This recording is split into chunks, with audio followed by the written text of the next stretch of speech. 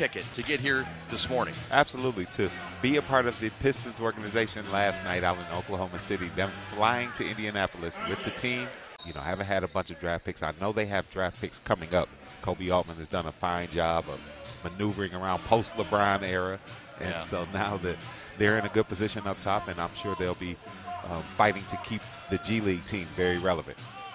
Nembhard, 17 footer, is sunk. wants to do. You you don't see him ever sped up or another guard getting him out of his comfort zone.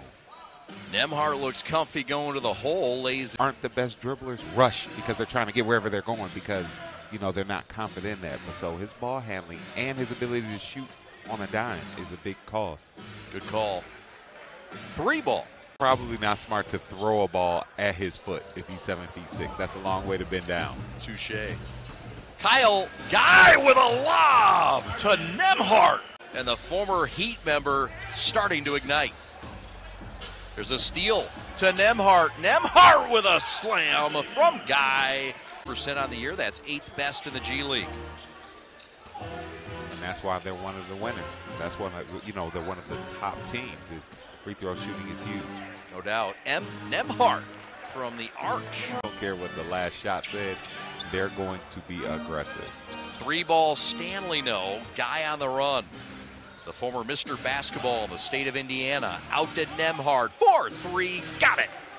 Charge within four. And like this, and you wonder why haven't they won more games? But then you understand that depth-wise, it's hard to sustain it. But at times like this, they're very hard to beat. You said it. Kyle Guy's whip pass, luckily, after the deflection, hauled in. 90 seconds left. Nembhard for three. Count it. And don't for Kyle Guy the other way to a cutting Allen, who got it rejected by Saben. But the Nembhard follow up is Nine rebounds. That that goes to show. Six assists. What a what a game.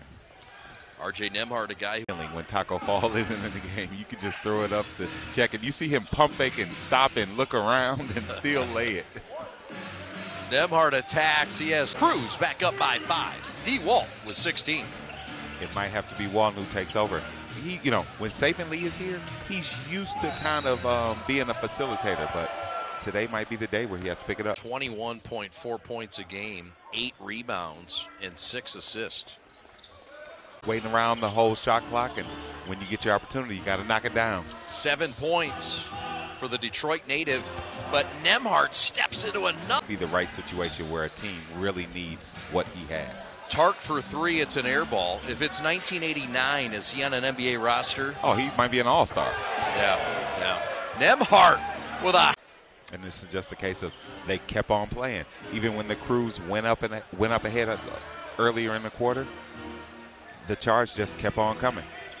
And Nembhard has been at the head of the attack. 34 points with 20 seconds left. Crossover down the avenue. And the two handed hammer. And the charge. Uh, they played some great basketball, have the Cruise this year.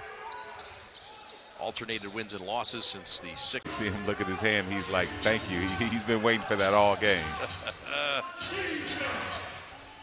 Looking for a stop here. Nembhard into the paint. Matches a floater that's pretty. He has 40. The Cruise have matched their biggest lead of the ball game 118 104. There you have it. There, Saben, and to those numbers. Saben with